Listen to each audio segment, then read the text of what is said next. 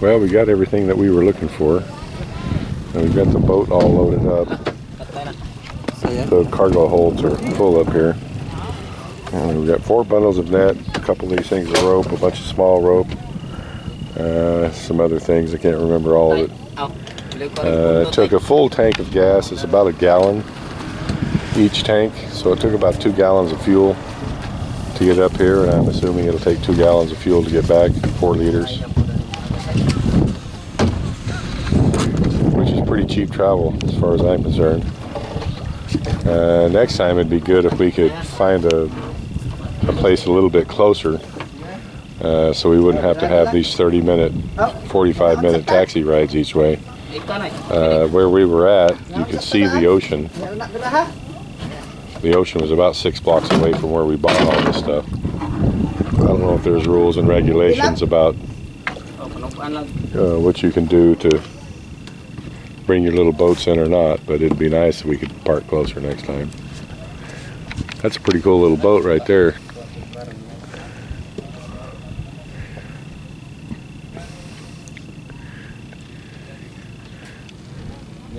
A little day cruiser, Filipino style. Oh.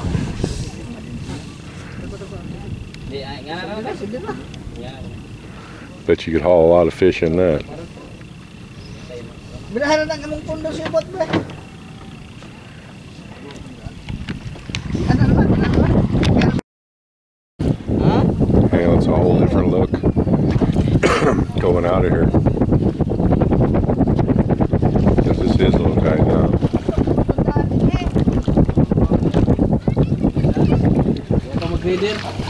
I think you're gonna have to pole most of the way out of here.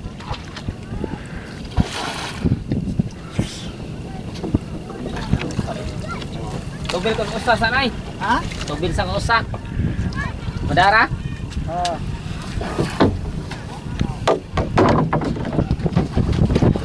You know, Gabriel's gonna fire one of them up, I guess. It is a little bit deeper right here.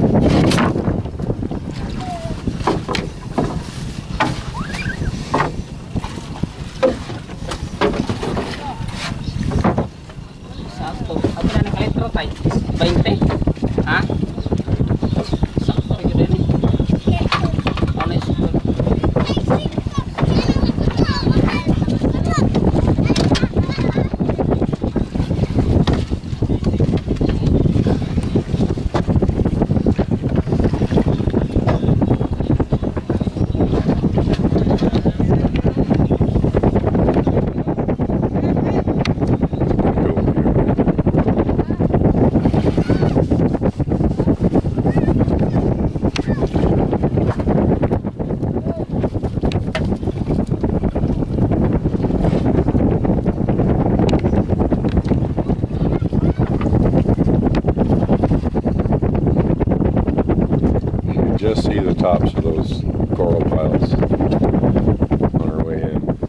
Just 'em.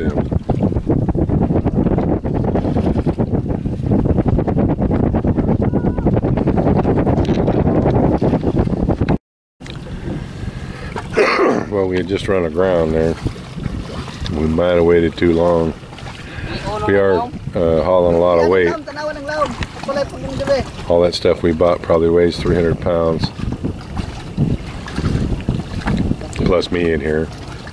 The tide's still going out. As you can see, the water's actually running out faster than we are. There's not much room.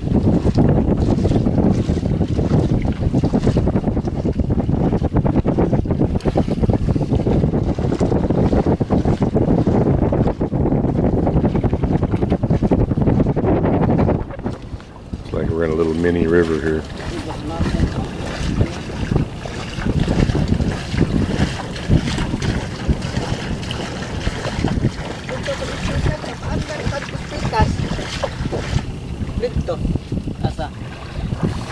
Ang Yan, dito, dito. Diha? Oh. Tuwa ka din. Tuwa ka din. Tuwa ka.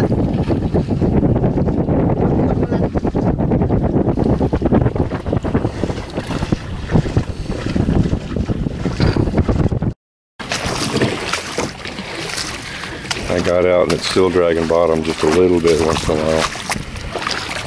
Little starfish.